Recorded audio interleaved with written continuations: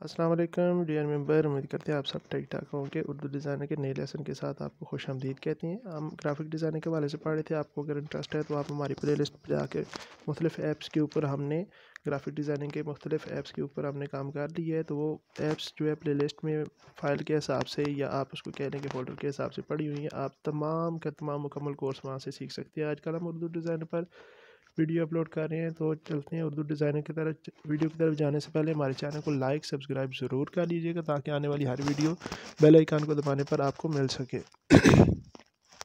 चलते उर्दू डिज़ाइनर की तरफ़, हमने टेक्स्ट सेटिंग्स हम पढ़ रहे थे, टेक्स्ट की सेटिंग, टेक्स्ट के डिज़ाइन हम पढ़ रहे थे।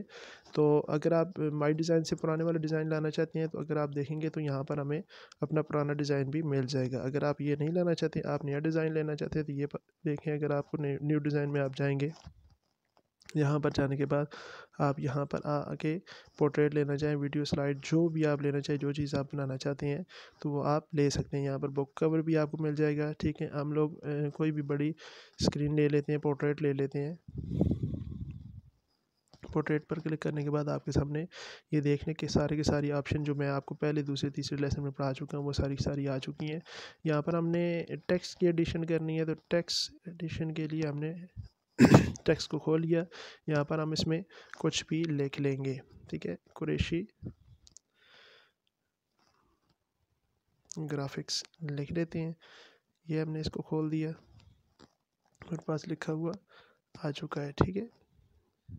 इसको थोड़ा सा बड़ा यहाँ से भी कर सकते हैं, आपको मैंने बताया यहाँ साइज़ से भी आप इसको बड़ा छोटा कर सकते हैं, ठीक है? तो ये सारी चीज़ें आपको मैं पहले पढ़ा चुका हूँ। अब हमने इसको सेंटर में लाया गला थोड़ा मेरा ख़राब है तो आपको थोड़ा सा बर्दाश्त करना पड़ेगा। फॉन्ट तक हमने पढ़ लिया था। कलर चेंज कलर चेंज में इतना ज़्यादा लंबा बताने की ज़रूरत नहीं है। वो मैं आपको सारी की सारी, ये सारी की सारी सेटिंग मैं आपको बता चुका हूँ कलर चेंज के हवाले से, ठीक है? कलर में आप इसका कलर ब्लैक रखना चाहें रेड रखना चाहें, ठीक है? जो सभी कलर आप रखना चाहते हैं, वो आप रख सकते हैं, ठीक है? उसके बाद आ गया जी आगे। ग्रेडियंट ग्रेडियंट का भी सेम वही पोजीशन मैंने आपको पहले बताई हुई है। अब ये देखें, इसका ग्रेडियंट कलर आ गया है। ग्रेडियंट में जो कलर भी आप रखेंगे, वो आप इसको दे सकते हैं, ठीक है? ग्रेडियंट कलर के अंदर मुख्तलिफ़ कलर्स हैं। ये देखें, दो, तीन, चार छः जितने आप को चाहिए वो उसके अंदर एडिशन भी कर सकते हैं। आगे जितना चलते जाएँगे, वो आपको कलर्स मुख्तलिफ़ मिलते जाएँगे। पाँच भी मिलते हैं छः तक तकरीबन आपको कलर मिल सकते हैं टेक्स्ट एडिशन के अंदर। ये कलर का ग्रेडियंट आपने और ग्रेडियंट की बाकी जो सेटिंग्स थी ना, वो मैंने आपको पहले बताई हुई हैं, ठीक है? ये ऊपर जितनी ऊपर सेटिंग्स एडवांस ये सारी चीज़ें जो है ना, मैंने आपको पहले बता चुका हूँ। तो आगे आगे जी, इसके बाद आगे आगे मल्टी स्टाइल मल्टी स्टाइल के अंदर आप इनको अलग अलग करके मल्टी स्टाइल के अंदर आप इनको कलर्स दे सकते हैं। गला मेरा काफ़ी सारा ख़राब लग रहा है। मल्टी स्टाइल के अंदर स्टॉक आप इनको अलग अलग मिसाल के तौर अभी कुरेशी को मैंने सेलेक्ट किया हुआ है तो कुरेशी को आप स्टॉक देना चाहेंगे तो सिर्फ़ कुरेशी को मिलेगी, ठीक है? रिमूव करने चाहेंगे तो रिमूव अगर दोनों को सिलेक्ट करेंगे तो स्टॉक देने पर दोनों को मिलेगी। यानी कि जो चीज़ आप इनको देना चाहेंगे, अभी स्टॉक के सारे वो आपने पढ़े हुए हैं वैथिस की ज़्यादा करनी है तो ज़्यादा हो जाएगी, कम करनी है तो कम हो जाएगी, ठीक है? ये चीज़ें आप पढ़ चुके हैं इससे पहले। अगर आप नहीं रखना चाहते हैं रिमूव करना चाहते हैं तो रिमूव हो जाएगी। उसके बाद फ़ॉन्ट अगर एक का चेंज करना चाहते हैं, दूसरे का रखना चाहते हैं तो ये भी चीज़ आपने पढ़ी हुई है। ग्राफिक्स का ख़त्म कर दे फ़ॉन्ट अगर एक को चेंज करना है तो एक का, इनमें से कोई भी फ़ॉन्ट आप ये देखें तो ले सकते हैं। क्रेशी फ़ॉन्ट जो है वो चेंज हो गया है, ठीक है? उसके बाद अगर आप दोनों का सेम ही रखना चाहते हैं तो सेम भी रख सकते हैं। साइज़ एक का बड़ा करना चाहते हैं तो एक का बड़ा हो जाएगा। दोनों को सिलेक्ट किया हुआ है अगर आप कुरेशी का बड़ा करना चाहेंगे तो कुरेशी का बड़ा होता जाएगा। अब कुरेशी का साइज़ बड़ा हो गया फॉन्ट चेंज होने की वजह से आपको वो महसूस नहीं हो रहा। अगर फॉन्ट सेम ही रखेंगे तो आपको फॉन्ट सेम महसूस होगा। अब कुरेशी का बड़ा हो चुका है। दोनों का सेम फॉन्ट करना चाहते हैं तो ये अगर आप देखेंगे तो यहाँ पर दोनों का फॉन्ट जो है वो सेम हो जाएगा। अगर एक का चेंज करना चाहेंगे तो एक का चेंज होगा। ठीक है? उसके बाद अब आपने इसको डिलीट करना है, चूँकि इसका सेटिंग चेंज हो चुकी है। तो आप नया, वही नया तरीका लाएँगे। कुरेशी ग्राफिक्स के हवाले से। तो ये आपके पास दोबारा से नाम आ गया है। अब मज़ीद इसकी सेटिंग आगे पढ़ते हैं। मल्टी स्टाइल हो गया। स्टाइल्स, यहाँ पर ये स्टाइल सारे आप जो भी bevel, blur, bumps, distort texture ये सारे के सारे शेडो एंड ग्लो ये जो भी इनमें से आप जिसको सेलेक्ट करेंगे तो वो आपके सामने आ जाएगा, ठीक है? यहाँ अगर आप देखें, इसको आपने सेलेक्ट कर लिया है तो ये आप the text will be converted to the image you want to अब ये इमेज में कन्वर्ट हो जाए। स्टाइल डालने से आपका ये जो है इमेज में कन्वर्ट अब ये इमेज बन गया है, ठीक है? सारी सेटिंग नीचे अगर आप देखें तो इमेज वाली इसके अंदर आ जाएँगे। हम अनडू करेंगे, हम दोबारा से वापस टेक्स्ट के ऊपर चले जाएँगे।